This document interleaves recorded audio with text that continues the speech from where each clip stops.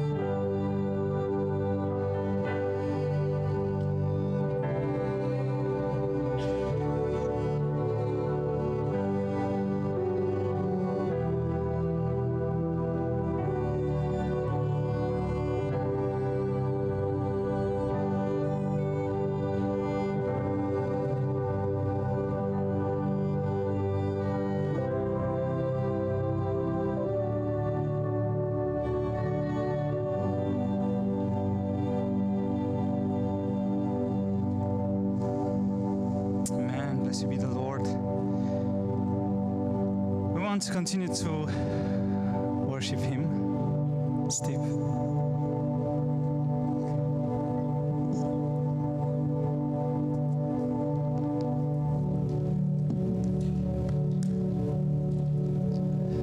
Uh, just a reminder that uh, the offering box is located in the back on your way out. Again, just want to, you know, praise the Lord for how everyone has given, but also that we would be attuned to the needs of those around us, those in the community, and that we would be um, certainly us as individuals, but also corporately, how we can meet those needs and be looking for those needs that can be met at this time.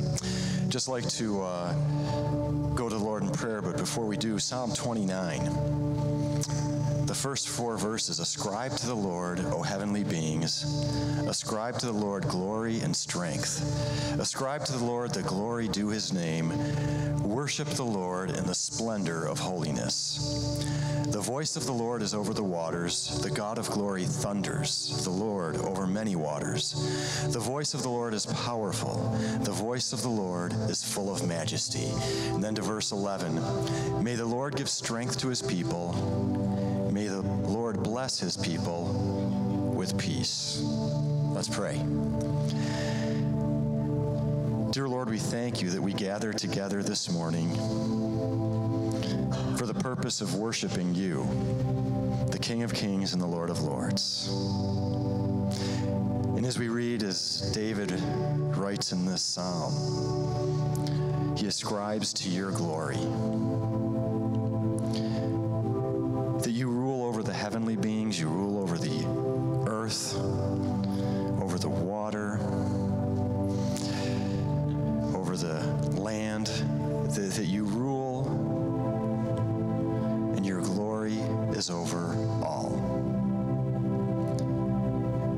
includes us, individual, individually and corporately. You know, at a time, dear Lord, when there is so much uncertainty all around us, we're reminded of the certainty of you. We're reminded, dear Lord, that we can cast our cares, our burdens at your feet. You know, you tell us that that your you know that our yoke is light, that you will carry those burdens, dear Lord. And so many things that we can find ourselves worrying about, the things that we can't control. May we continually turn to your word and to the confidence we have in knowing that while we don't know what tomorrow brings, you do. That you are sovereign, that you're in control. And the question that you know we face, the question that we must ask is how do we glorify you today? With my words, with my actions. Dear Lord, we know you're faithful. Am I faithful? And I pray that we as a, as, a- as a body would be faithful in how we glorify you, how we point others towards you. And that again, amidst the times of uncertainty, we have that opportunity all the more to be a light. Thank you, dear Lord, for um, the report from Dave Hammond. You know that uh, the test was negative, and we just pray for continued healing there for him. Uh, we pray for Christian Schultz for physical healing, and I pray for Noel that uh, he would not uh, grow discouraged, dear Lord. We pray for his appointment this week with the doctors, and just for healing there, but also for his vision, dear Lord. Pray for those who are at Camp Shiloh. Pray for their time together and just safety as they journey back. And we pray for those as leaders over us. We pray for our president. We pray for the vice president. We pray for our governor. But I also think of just the local school superintendents. We think of at this time of year and all those decisions that are made. We just pray, dear Lord, for wisdom. And we pray that for us, you know, again, as believers, that uh, our first and foremost would not be um, to be argumentative, but to be a light, to point others towards you, dear Lord, that we would be, truly be um, in the conversations we have, in the words that we share. Pray that we would be found faithful as you are faithful. And again, we just thank you, dear Lord, for your glory, for your majesty. We thank you, dear Lord, that our eternity is secure in Jesus Christ.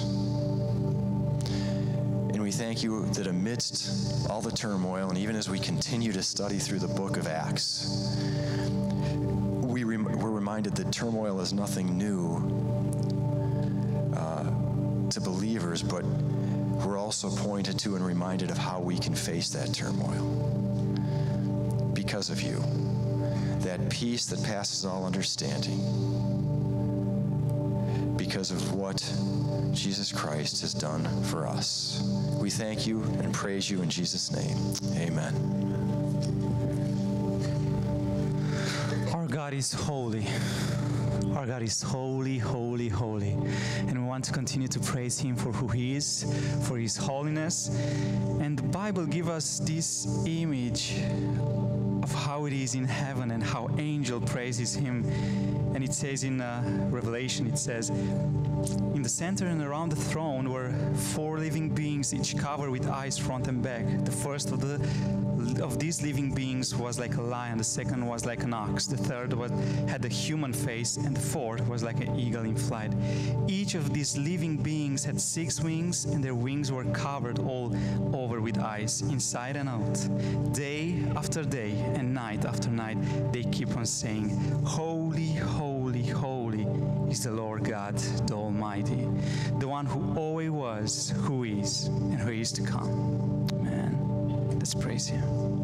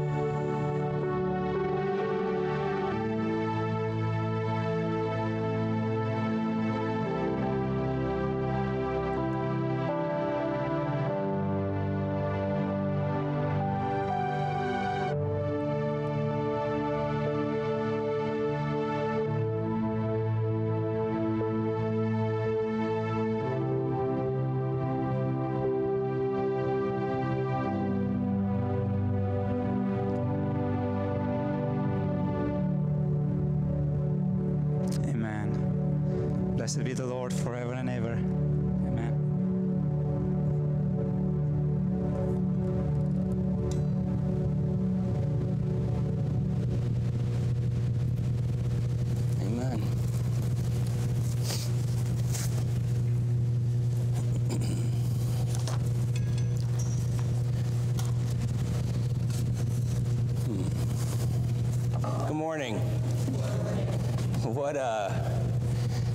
want to say surprise, but joy. What it is a treat to see everybody in the church house this morning. So praise the Lord. Thankful that you would take the time to come and worship together. Uh, let's just open up in a word of prayer. Lord, thank you for the, the gift that it is to be able to assemble together this morning and to worship you and to praise your glory and to bear one another's burdens. To be able to pray for one another and to give sacrificially and joyfully and to sit under the teaching of your word. Father, I pray that the teaching this morning would be a blessing to you, that your word would be rightly divided, that it would be more of you and less of me.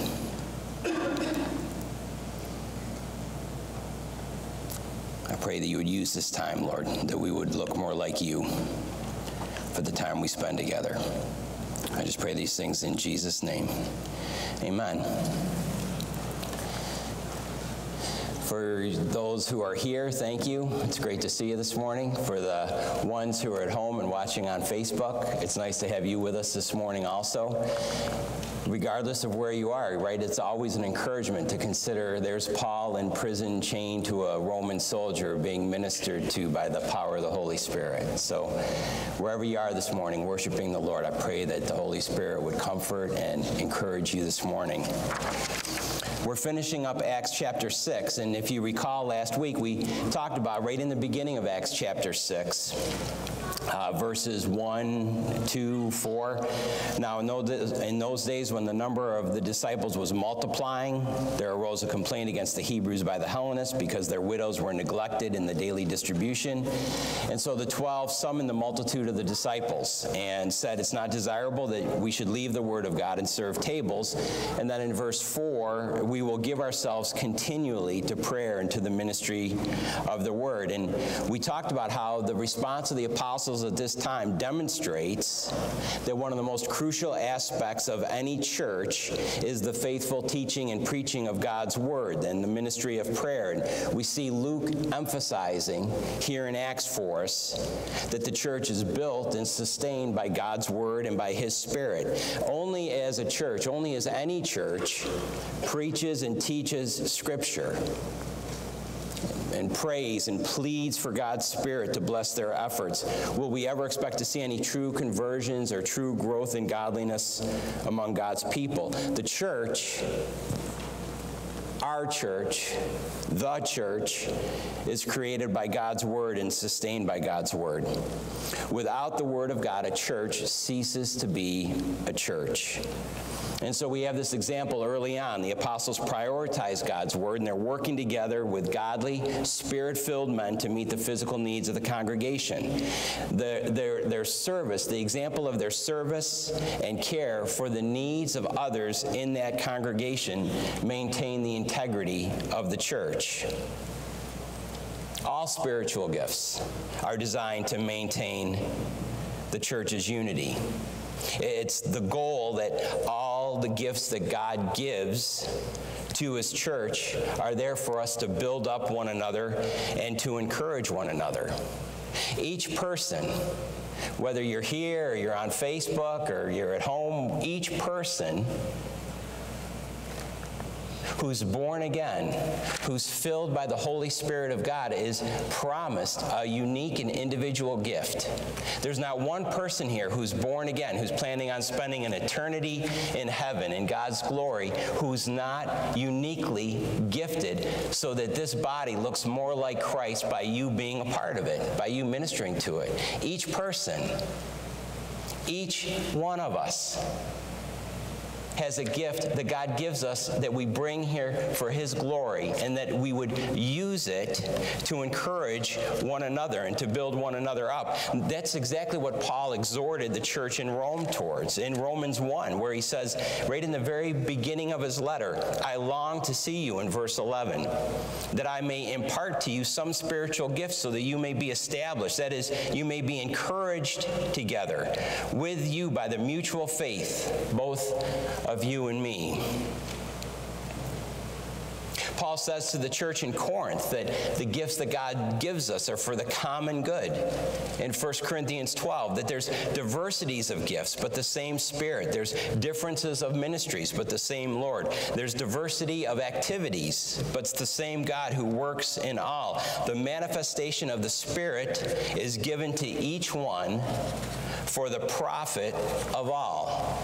And just a few sentences later, Paul says in verse 12, For as the body is one and has many members, but all the members of that one body being many are one body, so also is Christ.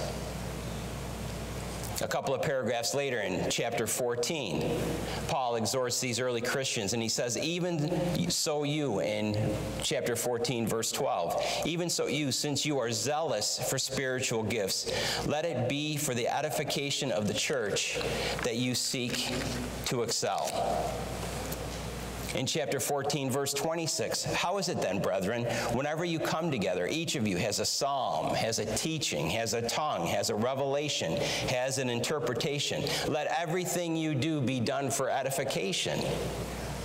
And so I would just encourage you this morning, and I would ask you, what did you bring this morning? What did you bring this morning? What psalm have you prepared to encourage someone with? What, what has been your devotion this week that you've come to encourage someone with? Uh, one of the things that we struggle with most as a church, not just our church, but the contemporary church, is that it's become a selection of what I like. And there's so much fracture in the body of Christ that it's easy to spend the rest of your life looking for a church that you're never going to be happy in right? You may find a church that will never meet all of your needs because Christ has designed the church so that by coming together, you would meet someone else's need. And so that idea that, you know what, I'm not getting out of church what I need to get to it, it's because we haven't started at the right place of we haven't prepared to bring to it. And each one of you is gifted to bring to someone else. There's not one person here who's not essential, who's not mission critical. It's the battle. It's the battle that I come. It's the battle that I have when I come into church and I'm thinking, what am I going to get out of the service today? I hope the music is something that I like. I hope the preaching is something that I can follow. I hope that whatever it is is all about me and I'm getting what I want. And the Holy Spirit is rebuking us through His Word and says, you know what, Brian, you're so focused on what you came to get, and I'm preparing you and equipped you for what you have brought, what you've come to give not to get, to give. It's what Peter talks about in 1 Peter chapter 1. As each, excuse me, in 1 Peter chapter 4, as each one has received a gift, minister it to one another as good stewards of the manifold grace of God. This isn't just for elders and deacons and Sunday school teachers to come equipped. This is brothers, sisters in Christ, born again, spirit filled Christians, people who love Jesus come prepared to minister to one another as good stewards of the manifold grace of God. Gifts are given to the body as a blessing. Mean, we see a huge blessing given to the church here in this sixth chapter of Acts. We see clearly how there's now order and structure are given to the church. Every Christ follower, everyone who cherishes Christ, should be able to highly value a rightly ordered church. The Bible spends a great deal of time talking about church order and church offices. In Acts 6, where we are, it makes very plain to us why a rightly ordered church is so important. That biblical order preserves church unity. We want to be agents of unity within our congregation. We want to highly value a biblical doctrine of the church. And so the structure, the, the rightly assigned biblical priorities, the compassion that we see here in Acts chapter 6, the, the meeting of the physical needs, the teaching of God's word, the intercessory prayer, all of these blessings work together to grow the church. And we see the effect of it in verse 7 in Acts chapter 6. The word of God spreads. The number of disciples multiplied greatly in Jerusalem, and a great many of the priests were obedient to the faith. I love that. Church was so good that even the people in the leadership got saved. it's remarkable. Even some of the priests, those, those priests had been the most hostile to the gospel. They had most opposed Christ. They had most labeled Christ a heretic. Those who had been most host, hostile to the apostles and to the gospel, they were saved. Luke makes note of it that, that this shift, this, this order and structure and working in ministry that the church was doing together was so dramatic that even the priests are coming over and joining the ranks of the believers. So much so that it's noteworthy in Scripture. May have cost these priests their entire way of life, right? They were completely supplied for out of the coffers of the temple. And so to become believers and Christ followers, they would have been excommunicated from the Jewish life. Perhaps, perhaps that could be why this unsettling nature to the foundation of Jewish life, why these temple priests leaving their duty to fellowship with the, the fledgling church, that, that could very well be what we see Stephen and embolden Stephen, and the Holy Spirit calls Stephen in the ministry that Steve's going to take us through in the weeks ahead. I can't wait to hear about Stephen. I can't wait to hear about his ministry and how the Holy Spirit uses him.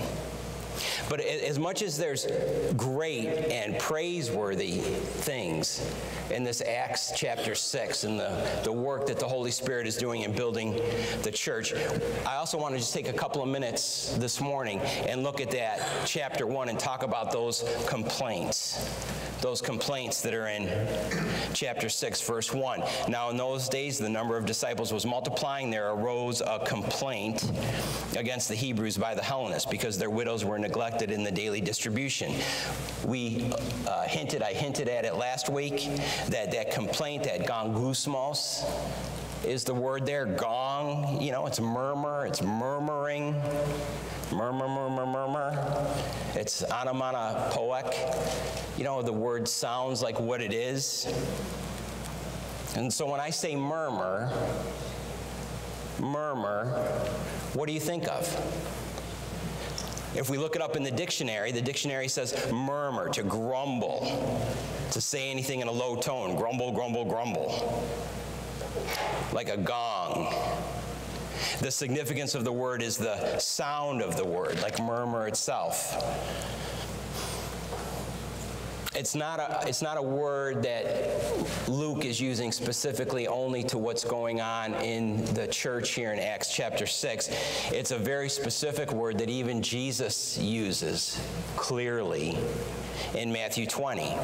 Pro- probably one of my favorite parables in Scripture when Jesus tells us in Matthew 20 about the parable of the landowner right? And he's making this very clear picture that the kingdom of heaven, the kingdom of heaven is like this landowner who goes out to hire the workers to work in his field, right? It's very clear. The landowner goes out at six in the morning and he promises, you know what, you work for me all day, you'll get a full day's wage.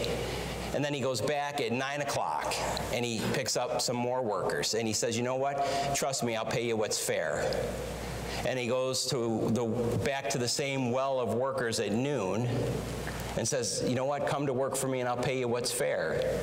He goes at 3 o'clock and he goes, he goes at 5 o'clock. There's one hour left in the day.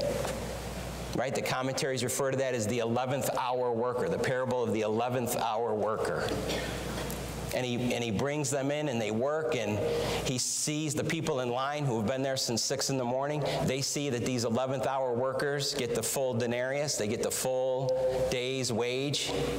And now they're starting to think hey if they get a day's wage for one hour of work and i've been here for 12 hours i've got something coming to me. I'm certainly entitled to be paid more, even though that denarius, that day's wage, is exactly what was promised to me for my work. I love that because it just reminds me vividly of each one of us being that 11th hour worker. That in pride and self righteousness, we might think that we're the ones who have been working all day. We're the ones who have been laboring. We're the ones who have produced a greater harvest. And Jesus reminds us very clearly that no, you know what? We're all going to have an eternity with Him that we don't deserve, that we're not entitled to. I like it too. It reminds me when I was in elementary school and our gym had these two ropes that hung from the ceiling. And part of boys' gym class at Cleveland Elementary School was to have teams and to see which team could scale the ropes the quickest. And with the girth of my lower body, it's like a gravitational pull to pull me down from the rope back to the gym floor. And inevitably, I was always the last kid picked. Those are, those, those are vivid memories. I mean, clear, like I can, I'm standing there in my orange gym shorts. And remember just thinking, oh, I'd like not to be last picked today. I'd like to be the last picked today. And sure enough, last picked and first one to fall off the rope. And, but, we're, but we're the 11th hour worker. But that, that complaint there, that, that, it, that in Scripture where it says that, that these workers, when they had received it, they complained against the landowner right? That, that, these last men have worked only one hour. You made them equal to us, who have borne the burden and the heat of the day. And he, the landowner says and answers them, Friend, I'm doing you no wrong. Did you not agree with me for a denarius? That, that complaint against those landowners, that complaint is the same attitude, that same heart condition that we see in Acts. You know, it's this heart condition. When I, when I hear the word murmur, that's what I think of. I, I think of a heart murmur. I think again about being in elementary school and our local doctor, Dr. Brown, listening to my heartbeat as an elementary school student and him explaining to me what he was listening for and how if you have a heart murmur as a child, it sounds distinctively different than if you don't. It's fascinating to me that if you go over to the Mayo Clinic website and you look up heart murmur, you know, their database says a heart murmur isn't a disease, but murmurs indicate an underlying heart problem. The Mayo Clinic says that if you have a heart murmur, there's a possibility that you may have con a congenital heart problem. You may have valve calcification. You may have endocarditis. You may have rheumatic fever. You can get quickly tired. You can't breathe properly. You may suffer from chest pain. That if nothing is done to address the issue, you will eventually die. See, just, just like physical heart murmurs are dangerous, so are spiritual heart murmurs. That the act of murmuring isn't the real problem. The real problem is that the murmuring reveals what's going on in our heart. Constant murmuring, constant murmuring is an indication that there's something wrong with our attitude and relationship with God. Paul goes to great detail to the church in Corinth, and he lays this out. If you have your Bibles, go to 1 Corinthians 10.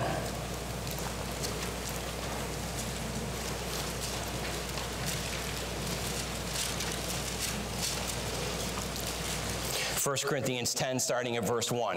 Moreover, brethren, I don't want you to be unaware that all our fathers were under the cloud, all passed through the sea, all were baptized into Moses in the cloud and in the sea, all ate the same spiritual food, all drank the same spiritual drink. They drank of that spiritual rock that followed them, and that rock was Christ. And so Paul's laying out to that church in Corinth remember what God did for you. You know, remember what God did for Israel. Remember how he brought them out of slavery and he brought them through the Red Sea and he provided for them in the wilderness and provided water and provided manna and provided quail. He just provided for them. And then in verse 5, 1 Corinthians 10, but with most of them God was not well pleased, for their bodies were scattered in the wilderness. And now these things became our examples they became our examples to the intent that we should not lust after the evil things as they also lusted. And so now Paul is laying out for that church in Corinth and for us, okay, what is it that we need? What's the takeaway? What is it that we learn from what happened in the wilderness? And how does it apply to us this morning? Verse 7 Don't become idolaters, as were some of them. It's written that people sat down to eat and drink and rose up to play. Don't commit sexual immorality, as some of them did. And one day, 23,000 fell. Verse 9 Don't tempt Christ. If some of them also tempted and were destroyed by serpents. Look at verse 10 Nor complain. Look at the company that complaining is put in the midst of sexual immorality, idolatry, tempting Christ, right? Nor complain, as some of them also complained, and they were destroyed by the destroyer. And then look at what Paul says in verse 11. Now, all these things, all that transpired there happened as an example, and they were written for us. They were written for our admonition. They were written so that we would learn from them, upon whom the ends of the ages have come. And therefore, let him who thinks he stands take heed lest he fall. So we learn from all these things. We can identify with all that was going on in the wilderness. We understand that complaining. And then look at what Paul says in verse 13 no temptation. All these things you're tempted toward sexual immorality, idolatry, complaining. No temptation has overtaken you except such as is common to man. God is faithful. God will not allow you to be tempted beyond what you are able, and with the temptation will make the way of escape that you may be able to bear it.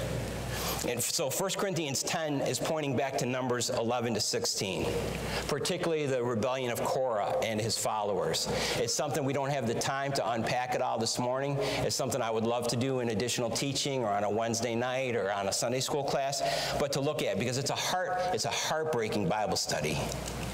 When, when you look through the accounts and Numbers, it's very difficult to process through the reality that it is not just Korah who perishes. It's not just Korah because of his complaining and his rebellion who perishes. It's Korah, it's the guys who stand with him, Dathan and Abiram. Right? Dathan and Abiram. I mean, it's to the point where God says to Moses, clear out clear out because I'm going to execute my judgment on these men, and I don't want you to get mixed up in what's about to happen. Take shelter, separate yourselves. And then very boldly, Korah and Dathan and Abiram come out and they stand at the door of their tents. And it's not just them, it's their wives, it's their sons, it's their littlest children. And they're all destroyed. They are all destroyed. Not just the complainers, not just the men, their wives, their families. That rebellious, divisive, contentious, complaining. It's not just they who suffer, it's their whole families who suffer. And Paul is saying that happened so that you would be taught by it so that it would be an admonition for us. And so going through this, I think, well, what is it that I'm to do then? Right? Paul's promised me, the Holy Spirit's moving Paul's pen, and he promises me that when I'm tempted to grumble, when I'm tempted to complain, when I'm tempted to murmur, God provides a way out. What is it? How, how, am I able to bear the temptation to murmur or complain? What's my escape? Well, what is it that I complain about? What is it that I murmur about? I mean, even, even in Acts, even if we unpack this example in Acts 6, this is a justifiable reason, right? Doesn't that make sense? That you, you've got these widows, and the widows aren't being cared for, and they're not uh, being distributed to with, with what should be gracious and loving care for them. I mean, we love the widows. We love to feed the hungry. We love to care for those in need. And of, of course, we're going to intercede for those people who can't speak up for themselves. Of course, we're going to intercede and complain on their behalf. Certainly, there was good. There was good in this complaining in Acts 6. Right? The deacons get, get established, Stephen gets called, the widows get ministered to. Charles Spurgeon has a little different take on that. I just want to share it with you.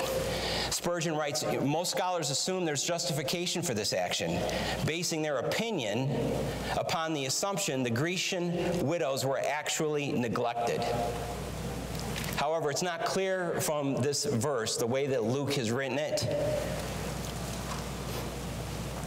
that that's something that we could admit to. It's this word murmuring. It's this word murmuring which casts some doubt on the extent of that neglect because murmuring almost invari- invariably almost invariably carries with it an imputation of guilt in the person's doing the murmuring and it rarely implies any guilt in those murmured against. Right, so maybe the widows were being neglected, maybe they weren't. Regardless, there's this complaining about it. The apostles, the our Holy Spirit filled men, right? They get these deacons, they get these evangelists, they take care of the issue. You know, it could very much be like Joseph and his brothers. You know, where Joseph is able to confront his brothers, that what his brothers intended for evil, you know, in this case, what those people complaining about, maybe they intended to be divisive in the church, that God intended for good in Joseph's life, in the church's life, that God intends that good because that complaining brought about when the, when the leadership responded in a spirit filled manner and spirit filled men filled the, the gap and ministered to the need, that there's order and structure. And we get to see Stephen's example. And so that, that idea well, what is it that I complain about? What is it that I murmur about? And I think, man, I, I'm under a lot of pressure right now. I mean, not, not this morning. But I mean, in, in life, there's, there's a lot of pressure. There are very distressing unemployment numbers. Our economy, our GDP is at all time historic lows. Right? It's very difficult even for me as a businessman to go in and, and visit customers, relationships I've had for 30 years, and we can't get in places because they're so concerned about this COVID contamination. There's a lot of persecution for the Christian church today. These are perilous times. Certainly, these are times of distress and persecution and plenty of reasons, legitimate, bona fide reasons for grumbling. But but King David wrote in Psalm 119:11, "Your word I've hidden in my heart that I might not sin against you." And so what words can you hide in your heart this week? I can share you some of the words that I've hidden in my heart this week, especially in these times of distress and persecution and seemingly justifiable reasons for grumbling, right at Romans 8. Romans 8, verses 35 to 39. Who shall separate us from the love of Christ? Shall tribulation? Shall distress? Shall persecution or famine or nakedness or peril or sword? As it's written, for your sake we're killed all the day long. We're accounted as sheep for the slaughter. In verse 37, yet in all things we're more than conquerors through him who loved us. For I'm persuaded that neither death, what, what, what, a, what a picture we had of this yesterday. Like I'm seeing Bobby. We were, we were at a memorial service yesterday for dear friends of ours whose, whose 24-year-old daughter, 25-year-old daughter overdosed. We had the memorial service yesterday for her. But to see her mom, to see her mom in the middle of that memorial service, during the middle of a song that was being sung, loudly praise God's goodness loudly glorify God's sovereignty in all situations. Praise Him for His faithfulness. It, it, was just a clear picture to me that even in the death of her daughter, she was not separated from the love of Christ. That's what Paul's saying. I'm persuaded that neither death, nor life, nor angels, nor principalities, nor powers, nor things present, nor things to come, nor height, nor depth, nor any other created thing. And think about the things that we battle against right now that I'm that I'm tempted to grumble against right now that are created things. I'm tempted to grumble against the government. It's a created thing. I'm tempted to grumble against legislation. It's a created thing. I'm tempted to grumble against a virus. Probably a created thing. There are many created things that we could easily, justifiably complain about this morning. None of it glorifies God, and none of it separates us from the love of God, which is in Christ Jesus our Lord. Some other scriptures I would encourage you just to go through as a family. Go through Psalm 106. Go through Psalm 106 as a family. And look at four times in that psalm how, how the people of Israel grumble and complain against God after they left Egypt in verse 7 and verses 13 and 15 and verses 24 and 27 and verses 32 and 33. I would encourage you as a family memorize this psalm. Memorize Psalm 106. Go through these stories with your kids. Study these. Understand what it is that happened for our admonition, that we would learn from them.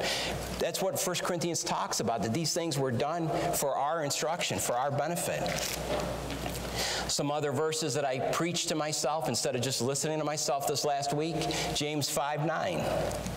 James 5 9, do not grumble against one another, brothers, so that you may not be judged. Behold, the judge is standing at the door. And there's James. James writing to the persecuted church. And James is addressing the importance of not taking out our frustrations and complaints on those in the church. I mean, James is a wonderful letter about our speech and what it is that we're preaching to ourselves because he says in, in, in James 3 very clearly about the destructive power of speech. And now in verse 5, James is telling us that the judge is standing at the door. There's nothing, there's no right, there's nothing wrong I can make right by grumbling. There's nothing wrong I can make right by grumbling. What I can do is be comforted in knowing James 5 that the judge of all, the judge who's standing at the door will make things right.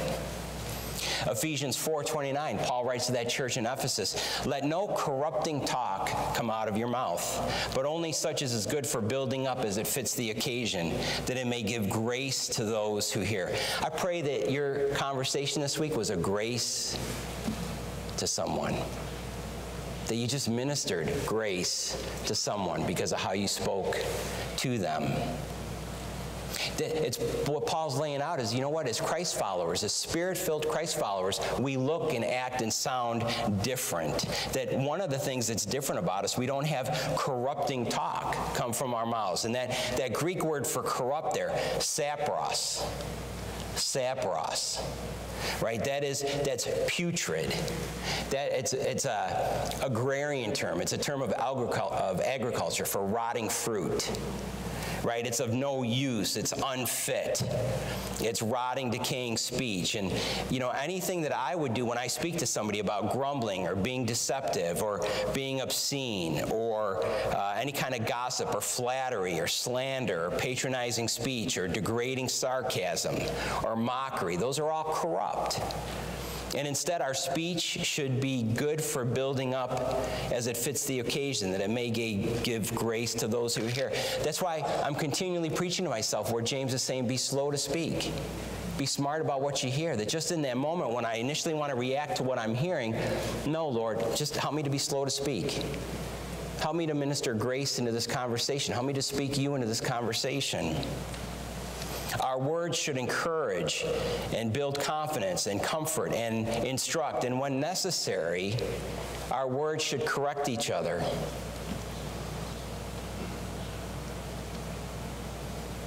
even as Paul lays out to Timothy so clearly in 2 Timothy 2, when he's talking about a Lord's servant, he's talking to, to, Timothy about what the leadership of a church looks like.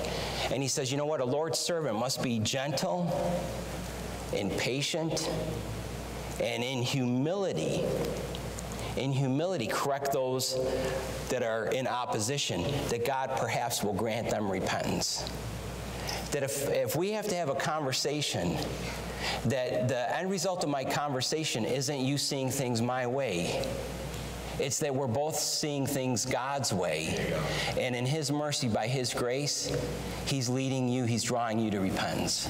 He's leading me, He's drawing me to repentance. That God's using us in each other's lives so that not that one of us would be right and the other one would have to capitulate, but that together we would both be edified, we would both look more like Christ. It's what Paul says to the Thessalonians in chapter 5. Rejoice always, pray without ceasing, Give thanks in all circumstances, for this is the will of God in Christ Jesus for you. I love it. You have those three, like they're little staccato punctuation statements about God's will for our lives that, that we shouldn't be grumbling and complaining, that we, we need to be mindful. We need to preach to ourselves why we should be joyful. We should take our needs to the Lord. We should be filled with gratitude. So there's a stark contrast here. A clear incentive to put off our complaining. You know, why, why should we be filled with bitterness or a bad attitude when God's will for us is thankfulness, prayerfulness, and joy? Philippians 2, verse 14 says very succinctly do all things without grumbling or disputing. But all of Philippians 2 gives us the motivation, gives us the context why not to grumble or complain. Verses 15 and 16 by not grumbling, we stand out in a world full of complainers. We become witnesses to Christ's power and to his goodness. In verses 6 to 11, we have an example inspired by the humility of Christ, who's 100% obedient to his heavenly Father without complaint. In verses 3 and 4, we learn to put the needs of others above our own. When our goal is to walk in the humility of Christ, our complaints start to look petty and unnecessary. Philippians 2, verses 4 to 14 to 16. Do all things without complaining and disputing, that you may become blameless and harmless, children of God without fault, in the midst of a crooked and perverse generation, among whom you shine as lights in the world holding fast the word of life, so that I may rejoice in the day of Christ, that I have not run in vain or labored in vain. That's my prayer for each one of us. My prayer for each one of us is that we would be so illuminating through the power of the Holy Spirit that we would be a stark contrast to the generation that, that we're in the midst of, that none of us would run or labor in vain. There's just a two minute video clip that I just want to share with you. It's from uh, the Desiring God Pastors Conference in 2014. John Piper was speaking to the group specifically about Hudson Taylor and Hudson Taylor's ministry in China and how it was an example of being a light. And we'll watch that video and then we'll close in prayer.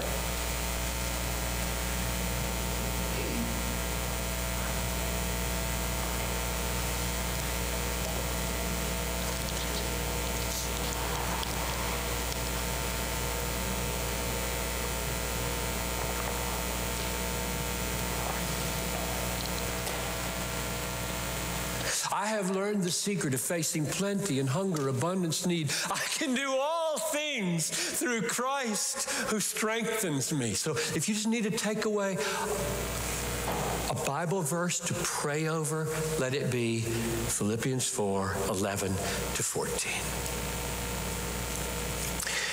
The learning here, I believe in this text, when Paul says, I have learned this contentment, this murmur free contentment. Oh, I'd love to unpack that.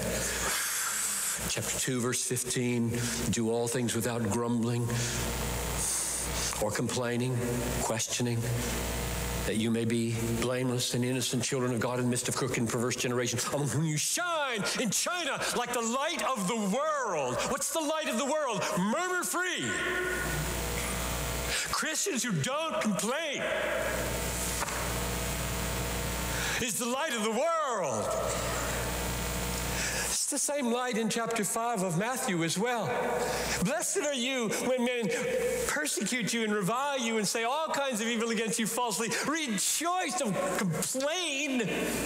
Rejoice in that day, for great is your reward in heaven. Let them see this glory of your good works so that they may give glory to your Father who is in heaven. We have such a long way to go. John Piper does at least 68 and still murmuring. Pray for me. I will pray for you. I am totally serious. Amen. So there's, I mean, there's John Piper in humility saying, you know what, at 68 years old, still murmuring, still coveting, coveting prayers for murmuring. I could easily say, hey, Brian Wright, 55, still wrestle with murmuring every hour of every day. Pray for me. I pray that we pray for each other, that there'd be a real watershed in our preaching to ourselves today. That when we're prone to give in to that complaining or murmuring or taking God out of the equation, that we would come back to these encouraging words that we heard this morning. Not my words, but what we heard from Scripture. It's His word that's living and active. Amen. Be lights that shine. Remember, as you exit, please put your masks on as well. I'm so glad you were here this morning. Amen.